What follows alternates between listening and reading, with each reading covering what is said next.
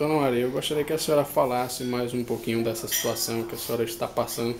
A gente sabe da sua angústia, dessa dor nesse momento, dessa perca.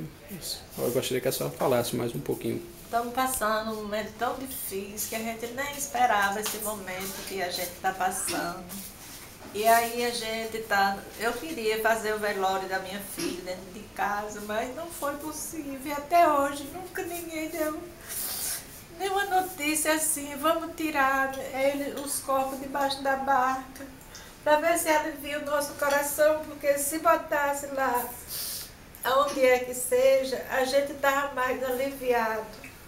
E então a gente só é angústia, todo dia, todo dia essa angústia, espera, espera resolver alguma coisa e ninguém resolve nada. Então que nós estamos esperando em Deus e no povo que nos uma ajuda.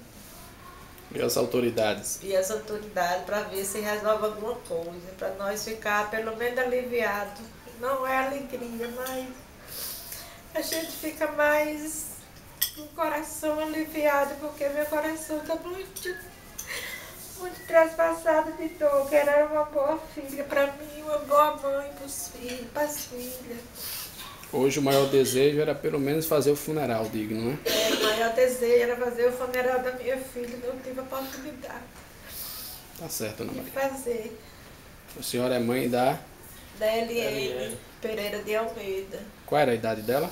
É 42 anos. Ia fazer 43 em dezembro. Quantos filhos ela deixou? Duas filhas.